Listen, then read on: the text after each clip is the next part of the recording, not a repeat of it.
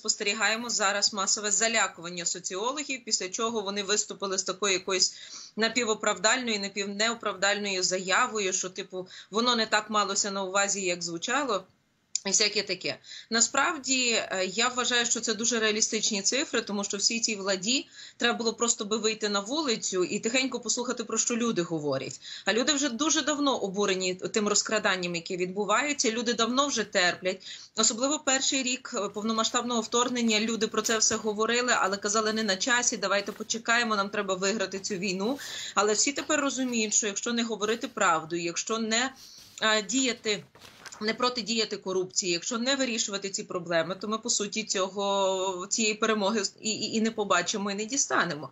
А от те, що відбувається, зокрема з так званими заступниками, радниками офісу президента, ну це взагалі тотальний безпреділ. Мало того, що там Тесла зареєстрована в перший місяць вторгнення за 100 тисяч доларів. А з іншого боку, ці 234 мільяр... мільйони гривень, які передаються а, електростанціям на окупованих територіях, які дають електроенергію окупанту. Ну це, це дно рідкісне, і тут дуже важливий момент.